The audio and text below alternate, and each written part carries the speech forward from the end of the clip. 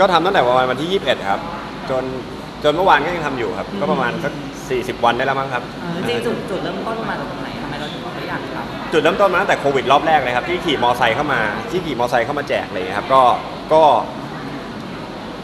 ก็รู้สึกว่ากรุงเทพตอนนั้นระบาดหนัก แต่ตอนนี้สมุทรสาครระบาดหนัก เราก็เลยลงให้สมุทรสาครก่อน แล้วก็ตอนนี้อย่างที่บอกครับ จริง ๆ แล้วถามว่าเป็นความเป็นการเหมือนเหมือนทำไปแล้วอะครับ เราก็เลยต้องทำต่อเพราะว่าจริงๆแล้วที่เอาข้าวไปให้พวกพม่าหรืออะไรอย่างเงี้ยคือไม่อยากให้เขาหนีออกมาอืมให้เขามีกินอยู่ในนั้น แล้วก็แล้วก็บางที่ด้วยด้วยด้วยด้วยอุปกรณ์เราครบอะไรอย่างเงี้ยครับเราก็เลยเราก็เลยบอกแม่บอกว่าเออนั้นเราทำอาหารแจกไหมแต่เราจะทำได้แค่ประมาณวันละประมาณ 300ถึง400 กล่อง เพราะว่าเราทำกันเราทำกัน 3 4 คน เราไม่ได้ทำกันเยอะเพราะว่าเราไม่รู้ว่าคนที่มาช่วยเราอะ เขาเขามีไทม์ไลน์อะไรบ้าง เราก็เลยไม่กล้าให้มาช่วยอย่างเงี้ยครับหลายนั้นคก็นเลยมองว่า เอ๊ะเราเราไม่กลัวแบบ ไปพื้นที่เสี่ยงตรงนั้นหรออะไรแบบก็อย่างที่บอกครับ จริง ๆ โควิด ถ้าศึกษาดีๆ มันก็มันก็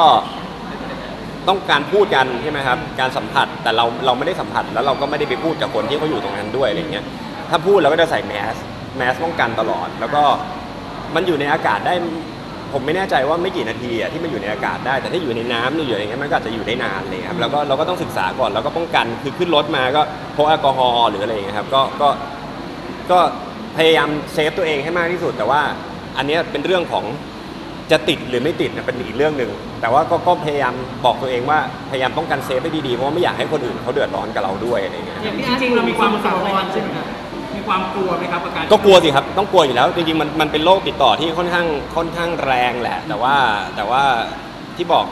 ถ้ามันแรงกับตัวเราคนเดียวอะมันโอเค แต่ว่าพอด้วยด้วยตอนนี้มันเป็นการพูดกันแล้วเป็นละออง ถ้าสมมุติว่ามีคนหนึ่งเป็นคนในเนี้ยก็ต้องกักตัวเหมือนนั่นคือความเดือดร้อนของโลกนี้แล้วเราเราคือเราไม่อยากเราไม่อยากให้ให้คนอื่นเดือดร้อนเพราะเราอะไรอย่างเงี้ยครับแต่แต่อย่างเราที่อยู่ในพื้นที่สีแดงไหมครับแดงนะ บ้านบ้านอยู่สมุทรสาครใช่ใช่ใช่ใช่ครับแล้ว เราใช้ชีวิตลำบากไหมเพราะว่าไม่ครับไม่จำบากเพราะว่าอย่างผมผมแค่จากบ้าน จากบ้านไปที่ทำที่ที่ที่ทำที่ทำข้าวทำน้ำพริกอะไรเงี้ยแล้วก็ไปแจกคนเอาไปแจกคนแล้วก็กลับบ้าน ทุกวันนี้ชีวิตมีแค่นี้ ทุกวันชีวิตไม่ไม่ไม่พยายามจะไปที่คนเยอะ ๆ หรืออะไรอย่างนี้เลยไม่ไม่เลแล้วยอย่างออกจากมาการทำทำงางานนอะไรอย่างเงี้ยที่กรุงเทพอะไรอย่างเงี้ยค่ะต้องต้องมีการอะไรยังไงบ้างคะเอออย่างผมผมไม่ผมไม่ได้ไม่ไม่ต้องมีลงเอกสารอะไรเพราะว่าเราเรามาทำงานเลยนะครับผม อันนี้น่าจะเป็นเกี่ยวกับพวกแรงงานหรือเปล่าหรืออะไรอย่างเงี้ยครับอืมแต่ทุกวันนี้ก็ไม่ได้ผ่านด่านเวลาทำงาน ก็มีการเรื่องเรื่องด่านเนี่ยก็ก็ต้องบอกครับบางทีบางทีบางทีโควิด มันก็ไม่ได้ออกเป็นเวลาเนาะก็ถ้าจะตั้งก็ก็ตั้งให้มันตลอดอะไรอย่างเงี้ยครับก็บางทีก็ตั้งแล้วก็แล้วก็หยุดมันก็ไม่รู้หรอกมันเล็ดรอดไปตอนไหนอะไรอย่างเงี้ยครับอันนี้ก็ต้องฝากไว้นิดนึงครับไม่ได้ไม่ว่าเจ้าหน้าที่นะเพราะว่า เราก็ก็รู้ว่าตอนนี้ก็ทำงานหนักอะไรอย่างเงี้ยครับแต่ว่าก็อย่างที่บอกถ้าเกิดมันจะให้มันจบในในคราวเดียวอะก็ต้องผัดไปผัดเปลี่ยนหมุนหมุนเวียนเวรที่เขาอยู่คอยตรวจแหละ แต่ว่าก็อีกอะเดี๋ยวประชาชนที่เขาเดินทางไปไปมาๆก็จะบอกว่ารถติดอีก อันนี้ก็ต้องก็ต้องเข้าใจกันต่างคนต่างต้องเข้าใจกันเนี่ยย้อนถามนิดนึงตอนนี้ข้าวที่เราทำแจกเนี่ยทั้งหมดเท่าไหร่นับได้ไหมอู้ตีไปวันละเอา 300 พอ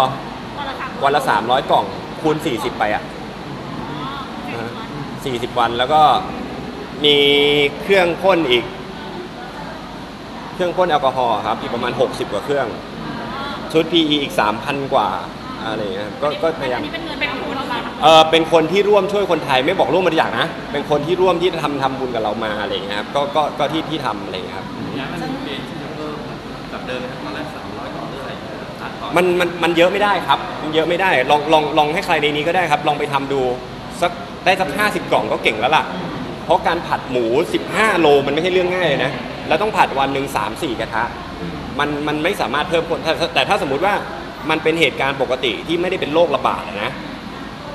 ให้คนมาช่วยสักห้าสิบคนวันละพันกล่องก็ทำได้ แต่ตอนนี้ผมทำกันอยู่4ี่ถึงห้าคนเท่านั้นเองอะไรอย่างเงี้ยครับไอเรื่องเมนูครับผมไอเรื่องเมนูใครเลือกผม ผมกับแม่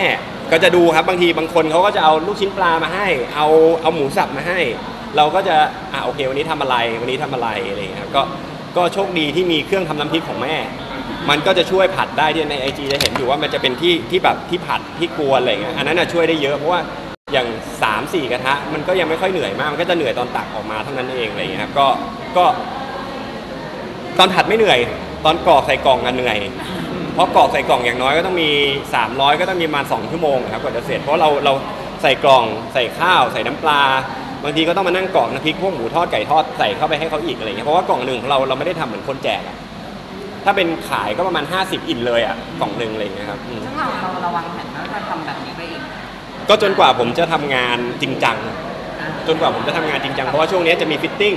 มีไปทวนบทบ้าง มีอะไรบ้าง ก็ก็ยังจะทำอยู่ แต่ถ้าเกิดทำงานจริงจังแล้วก็อาจจะจะให้น้องหรือแม่ไปช่วยทำเพราะว่ามันมันอาจจะไม่ได้ทำได้เยอะเท่าเดิมอะไรอย่างเงี้ยแต่ก็แต่ก็ ก็พยายามจะทำให้มันนานที่สุด เพราะว่าจะทำงานจริงจังผมก็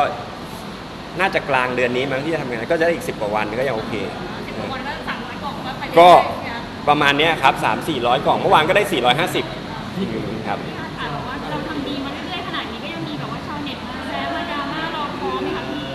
เอออย่าไปให้ความอย่าไปให้ค่าดีกว่า อย่าไปให้ความสนใจเขาดีกว่า มาขายน้ำพริกมาซื้อน้ำพริกกันดีกว่าครับนะมาสนับสนุนกันดีกว่า อย่าไปให้ให้ค่าคนพวกนี้เลยเอออย่าไปให้แต่ก็เห็นแต่ก็เห็นพี่อาร์ตตอบ comment นะก็ก็ก็ถ้าถ้าเกิดเราเห็น comment ดีๆ เราก็จะไม่ตอบ เราก็จะให้ค่าคนพวกนี้ แต่ที่ไปตอบให้เขารู้สึกว่า นั่นแหละ เราไม่ได้ให้ค่าเขาเราถึงกล้าตอบแบบนั้น มันเหนื่อยไหมครับกับไม่เหนื่อยครับกับคนพวกนี้ผมสู้มาสิปีแล้วไม่เหนื่อยเออไม่เหนื่อยไม่เหนื่อย ยังยังเป็นสมาชิกเดิมๆไหมคะ ก็เดิมๆครับเดิมๆยังเป็นคนเดิมๆครับ ยังเป็นคนเดิมๆแหล่งข่าวเดิมๆครับ ที่เขาที่เขายังเป็นยังเป็นอย่างนี้อยู่เนี่ยเอ่อผมทำมา 40 วันเนี่ย ไม่มีข่าวลงนะ มีวันเดียว แต่พอมีเรื่องอะไรปุ๊บลงปั๊บอะโอเค ก็เข้าใจก็ไม่ได้ว่าอะไรครับก็ไม่ได้ว่าอะไร แต่เราก็ยืนยันว่าเราจะทำต่อไปไหมก็ทำทำก็โอ้ยถ้าผมท้อผมเลิกทำตั้งแต่หลายปีที่แล้วแล้วครับอืมมาสั่งน้ำพริกดีกว่า อยากอยากพูดอะไรไหมคะไม่ไม่พูดครับไม่ให้ค่าคนพวกนี้ไม่ให้แม่ค่าแม่ให้ก อะไรนะฮะ แม่ครับแม่ให้กำลังใจถ้าเกิดคนฟังอยู่ให้กำลังใจก็ไปซื้อน้ำพริกแม่ได้นะครับแอดฝีมือแม่เลยฮะแอดฝีมือแม่มีน้ำพริกหลายอย่างนะครับ มีหมูทอดด้วยหมูทอดด้วยนะครับ ก็รายได้ส่วนหนึ่งก็จะไปช่วยคนเนี่ยแหละครับยังไงก็สั่งน้ำพริกอย่าไปให้สนใจข่าวพวกนี้เลยไร้สาระครับผมขอบคุณครับงานเราเมื่อวานที่โพสต์นะคะอย่าไปให้ค่าคนพวกนี้จริงเราโพสต์ไงเราโพสต์เมื่อวานๆก็โพสต์นั่นแหละ อย่าไปให้ค่าเขาอย่าไปสนใจเขาปล่อยเขา แต่ก็มี